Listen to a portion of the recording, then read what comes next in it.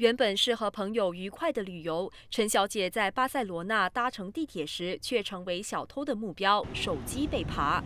事后她到警局报案，但由于想要确认手机不是遗留在酒店房间，所以回到酒店后才通知电信公司暂停手机服务。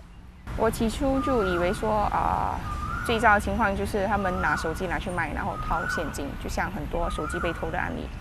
所以啊，就没有担心这回事。直到回来，他几个星期后收到那个账单，才吓了一跳。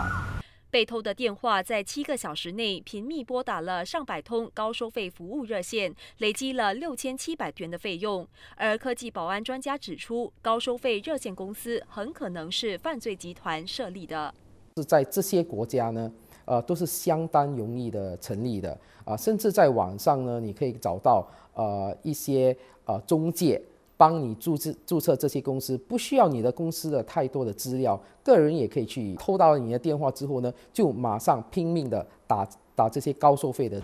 陈小姐要求电信公司别征收这笔电话费，电信公司只答应免收她三千元。电信公司表示，发生这样的事，应马上通知公司暂停电话服务。新传媒新闻记者兰丽婷报道。